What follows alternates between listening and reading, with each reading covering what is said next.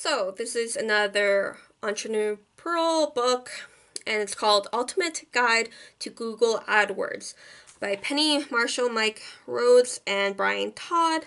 There's it's the fifth edition, 37 chapters.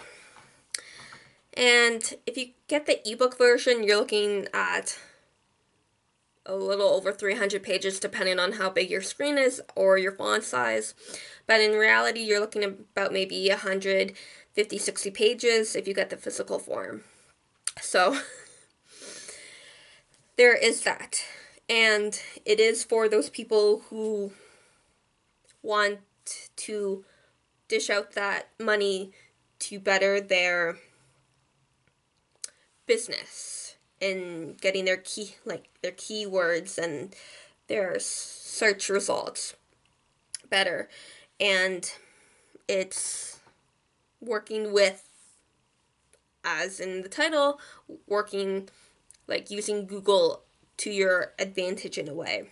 There are different like figures and images throughout the book to sh- like as a show how not because some people are that visual kind of learner not just the written, here's step one, here's step two, or a paragraph, this is how you do it kind of reader. So it does go to bo- both saying this is what this page or tab will look like when you get to that. And it is saying,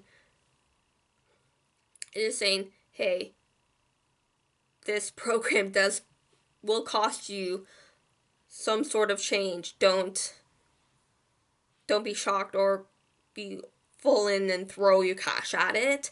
You got to be systematic and careful and know your way around before you do this.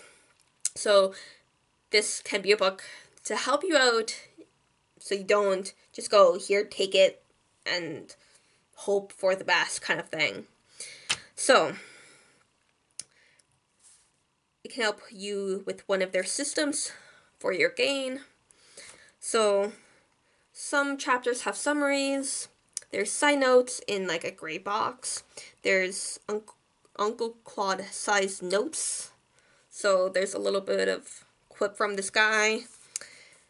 Gives examples, lists checklists.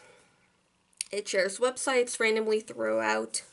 It's very informative, jam packed with information and like how to do stuff. There's steps by steps. There at times there's step by steps on how to do things. There's tips and tricks.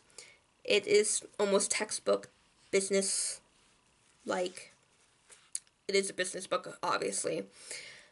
It's a there's a quick reference AdWords glossary and yeah, very informative. So, ultimate guide to Google AdWords. Happy readings.